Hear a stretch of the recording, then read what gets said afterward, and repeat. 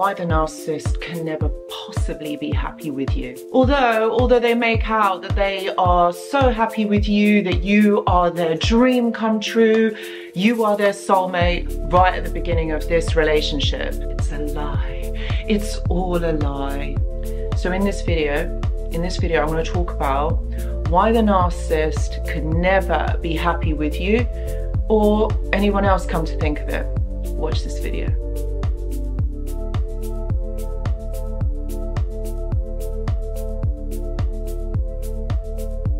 Hello and welcome back. I hope that you're all doing really well. So in this video, I really wanted to talk about or explore why the narcissist can never, ever, ever, never be happy with anybody.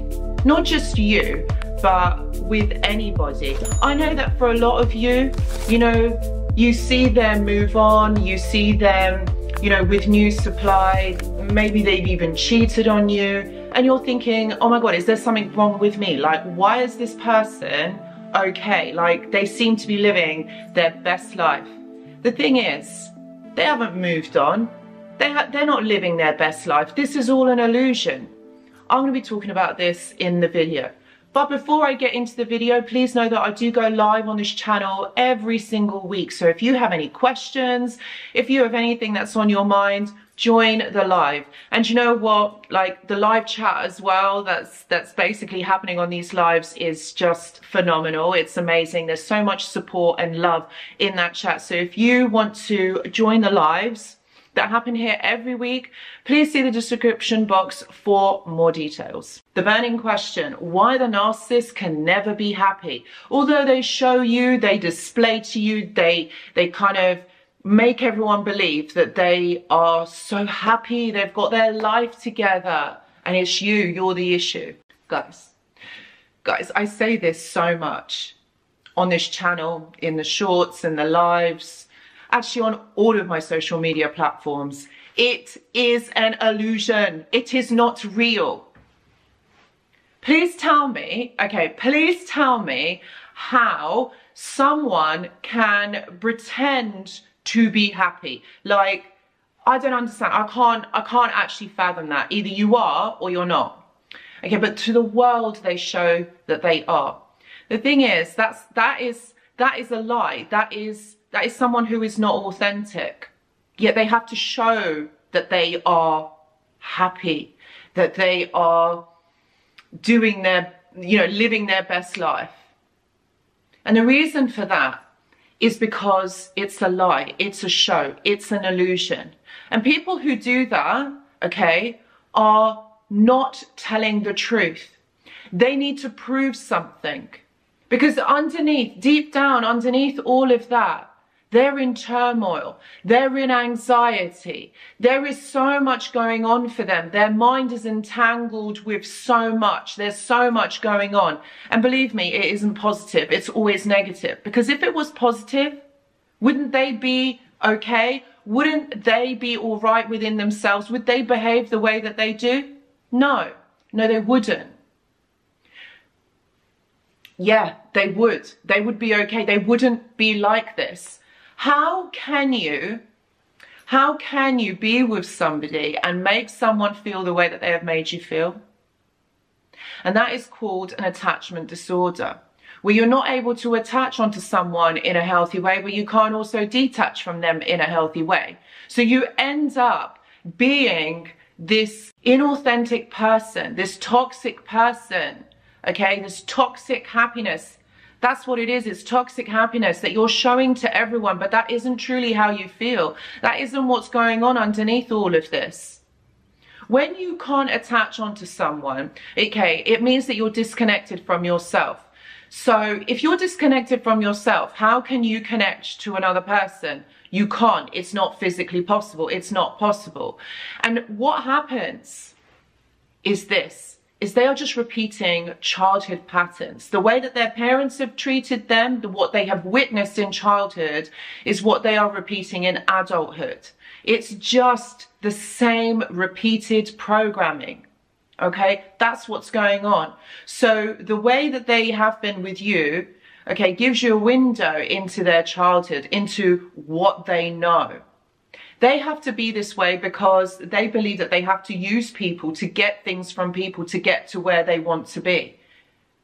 This isn't, they never tell you how they truly feel. It's either this way or that way or whichever way. We don't know. We, we just don't know. And someone who does that is creating an illusion, a magic show. Okay, they're trying to divert your attention because they don't want you to know the real truth, the real them. If you did, you would know how dysfunctional they are. And the thing is, this is just a big facade. This is just false confidence. They're never going to show that they are vulnerable, that they're feeling this, that they're feeling that, because they would never want to show their real emotion. Because it's too dreadful. It's too hard. They've spent so much time trying to hide it. But the thing is, it comes out in other ways, even though they've tried to hide this, you know, put this down. But what you're doing is it's coming out in other behaviors, in other ways of interacting. If someone is healthy, they're not going to make you feel like this. They're going to be able to stand in their authentic truth and be themselves. A narcissist is like two or three, maybe five different personalities in one. Why do you change who you are? Why are you not being this one authentic person? Because what they also do is they compartmentalize. They're one person with this person, they're another person with this person, then they're another person with that person. Each person, each scenario, each experience brings out another part of them because they're not being truly authentically themselves. What they're trying to do is blend in, blend into these different situations because they have an image, they have a status to uphold. They want people to think a certain way of them. And that's why they are never happy because how can you be happy pretending to be someone else, pretending to be something else? You're not you. So they know that they are not accepted for who they are. Again, again, guys, this stems from childhood. Their parents either wanted them to be an extension of themselves, so they wanted the child to do exactly what the parent says, wants, and does, and also, the child learned very quickly that they weren't accepted the way that they are.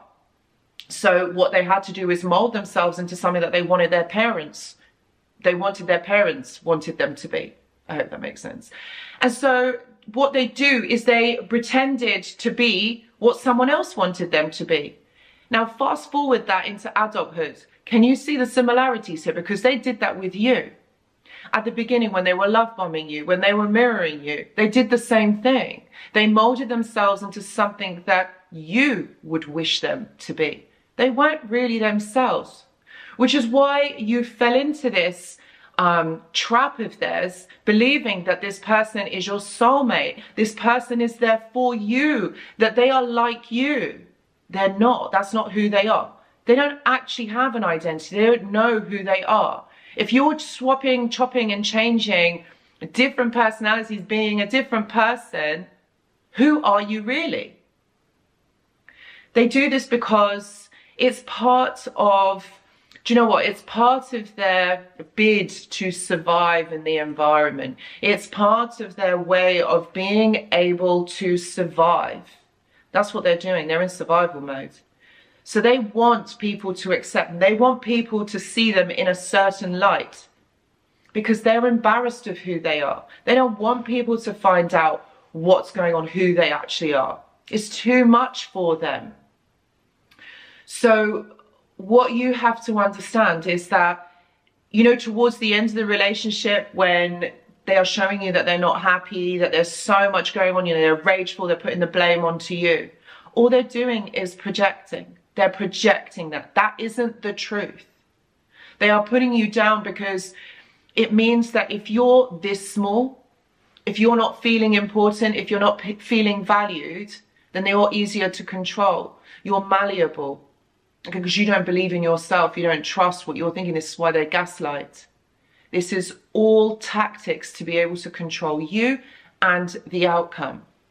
And people who do that are never happy. How can you be happy being so anxious, so you know, focused on looking at what's going on in your environment, trying to fit in, trying to be something that you're not. How can you truly be happy? You're not anchored in the moment. You're not even yourself in that moment. So if you're being constantly distracted with these thoughts that are going on in your mind, if you're constantly having to concentrate on other things other than being your authentic self, how can you be happy? They're not happy in themselves, so they're not going to be happy with you. They're not going to be happy with anybody. They're not happy. There's always something going on. If you really think about it, when were they truly happy? And if they were happy, was that real or was that an act? Narcissists are all about getting their needs met. They want that attention. They want certain things from certain people or from certain situations. And they will, you know, adapt it so that it works out in the way that they want it to work out. This isn't about you. This is about them. This is about getting what they need from that person and from that moment.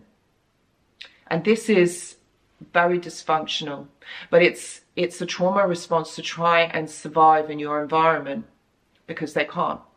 And it's too intense for them. So if they can not be themselves, if they can project that onto others, then they're safe because they don't have to take accountability for their behaviors, for their actions and things that they say. They don't have to take accountability. So that's what it's about. It's about externalizing the blame, but also getting external validation because they can't give it to themselves. They can't self-soothe. They can't regulate their emotions. So they look to others to do that for them. Narcissists cannot be happy with anybody. Please remember that. Even though you are looking maybe at your ex-narcissist and you're seeing that they have moved on, that they're doing really good, they're living their best life, it is an act. It is not real. So guys, I really hope that this video makes sense and has given you more understanding and more clarity into what is going on in this situation because believe me, it's not pretty. They are not. They are not happy.